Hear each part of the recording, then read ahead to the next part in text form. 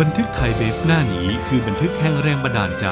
จากกลุ่มอนุรักษ์ป่าชุมชนตำบลนาบอนกับการส่งต่อแรงบันดาลใจสู่ชุมชน พอหลังจากเรารู้เรียป่ามา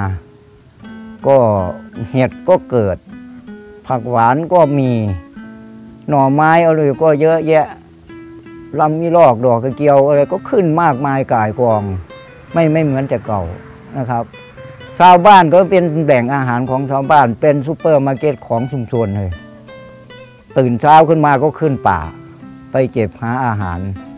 การร่วมแรงร่วมใจกันของกลุ่มสมาชิก ในการดูแลป่าไม้ชุมชน ให้เป็นแหล่งอาหารที่สมบูรณ์ อีกทั้งยังช่วยกันปลูกจิตสำนึก ให้เยาวชน รัก และหวงแหนป่าถิ่นเกิดแต่ว่าก็เลยว่าจะให้ลูกให้หลานนี่ละมาเรียนรู้น้ำให้ชุ่มน้ำ พ่อน้ำแม่ให้ลูกร้านเยาวชนเฮานี่ให้มาประสานต่อคือว่าห้าพ่อแม่เฒ่าไปแล้วมันก็สิย่างบ่ได้นะก็เลยให้ยังให้ลูกร้านมาประสานงานเรียนรู้น้ำกันกลุ่มอนุรักษ์ทรัพยากรธรรมชาติและสิ่งแวดล้อม ตำบลนาบอนอำเภอคำม่วง จังหวัดกาลสินธุ์ตระหนักถึงความสำคัญในการอนุรักษ์ทรัพยากรป่าไม้ เพื่อให้คงอยู่คู่ลูกหลานสืบไป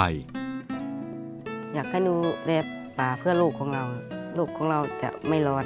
เราต้องร่วมกันอนุรักษ์ป่า ให้ป่าเราอุดมสมบูรณ์ ไม่ให้ป่าเสื่อมโทรมลง เราก็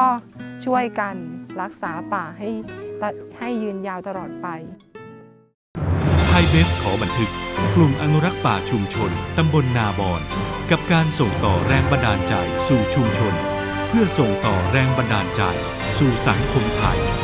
บริษัทไทยเบเวอเรจจำกัดมหาชน